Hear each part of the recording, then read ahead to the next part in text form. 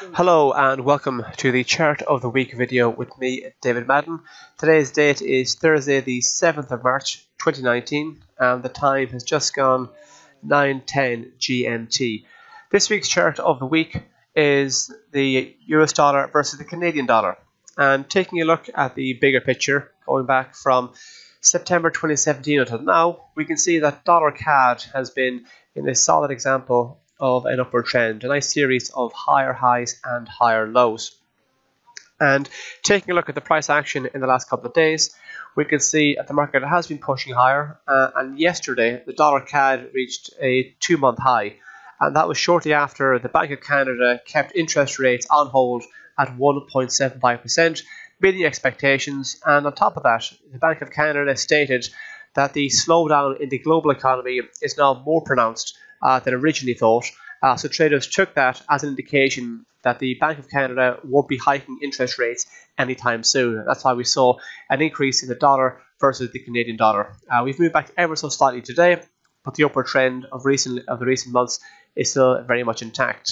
And taking a look at the price action for the last few sessions, where the market has been moving higher, we can see on the MACD, hist- MACD indicator, the MACD histogram, there's been a steady increase in positive momentum. So the underlying market's moving higher, and we're also seeing an increase in positive momentum.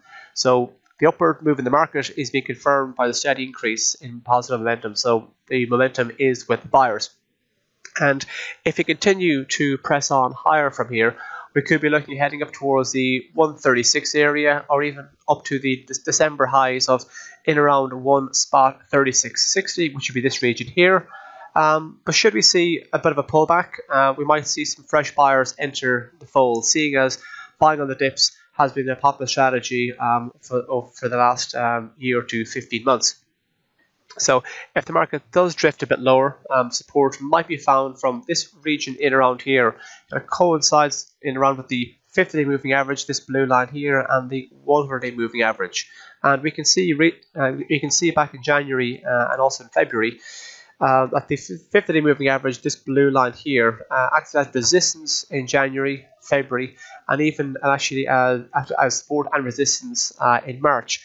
And this yellow line here, the 100 day moving average, um, acted as support on a number of occasions uh, in, in both January and also in February. And if an indicator or a metric has acted as support or resistance in, in it recently, it makes it more likely that it will do, do so in the future. Obviously, there are no guarantees. Uh, so the, the 100 day moving average comes into play at one spot 32.68, and the 50 day moving average comes into play at one spot 32.86. So in around that region, uh, we might find some support should we drift lower on the dollar CAD. And even if we drop below that and uh, we go below 132, support might be found from this area here, at the red line, the 30 moving average, um, which comes into play at 1 spot 3165.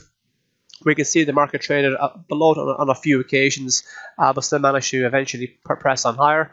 Um, but if you do see a break below this area here, uh, the February low at 1 spot 3068, that could be an indication that we're heading for further losses and it could take us back down towards the psychologically important 130 area or even if you go below that we could be looking heading back down towards levels last seen in October in at one spot 29.26 if you are going to be trading uh, the dollar CAD please keep an eye out for uh, the following econo economic announcements Later today, uh, we have Canadian building permits and the US jobless claims number. Uh, and tomorrow, we have the all important US non farm payrolls update. And we also have the Canadian jobs update. So if you are trading this currency pair, please keep an eye out for those economic announcements. Uh, and finally, uh, if, you, if you have any comments to make on this video or any of the other videos we've made here at CMC Markets, please feel free to leave a review on Google Reviews. And that's all for me this week. Thank you very much.